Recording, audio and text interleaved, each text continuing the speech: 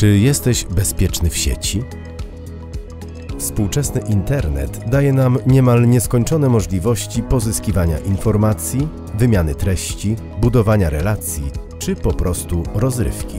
Pamiętaj, aby z sieci korzystać z głową i nie zapominać o własnym bezpieczeństwie. Dlatego zawsze używaj złożonych haseł, na przykład takich, które zawierają w sobie wielkie i małe litery alfabetu, a także cyfry i znaki specjalne. Unikaj korzystania z publicznych, niezabezpieczonych hasłem sieci Wi-Fi, jeśli nie jest to konieczne. Pamiętaj o tym, zwłaszcza kiedy chcesz zalogować się do banku lub dokonać płatności online.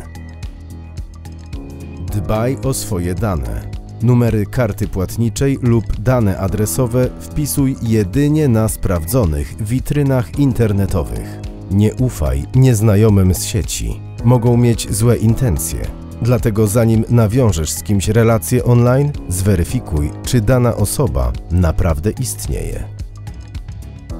Pamiętaj, internet daje duże możliwości, ale warto wiedzieć, jak bezpiecznie z niego korzystać.